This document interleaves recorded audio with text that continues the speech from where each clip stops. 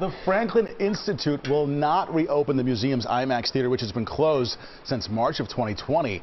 The museum says that decision was based on several factors, including the need for a complete replacement of now obsolete technology as well as infrastructure.